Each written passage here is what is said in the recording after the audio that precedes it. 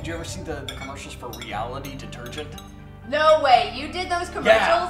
Those were the most up commercials I've ever sucked. seen. Those were crazy. Wow, Yo, you but guys you saw know what? You guys I- saw them? They, they I only aired remember a couple them, though. times. What, I was they, what were they? It was like it was like reality detergent, right? You had like a kid.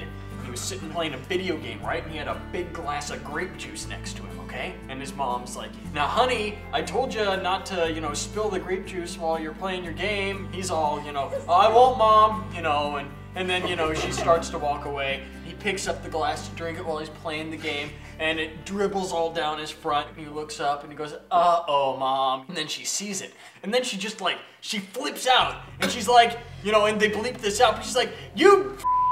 You know, you, how dare you spill on my carpet? I told you not to do that, you stupid, you know, piece of you know, and you know, she just starts going off on him. And then it like, it cuts to like the box of detergent like sitting in the sand, and like the sand's like blowing up against it, and it's like reality.